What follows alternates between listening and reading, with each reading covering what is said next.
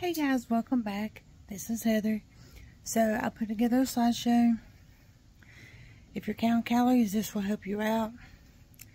It's just a visual so you can see how much calories is in one thing versus the other. So thanks for watching. I hope you enjoyed this. If you like this, please give me a thumbs up. And I will see you guys next time.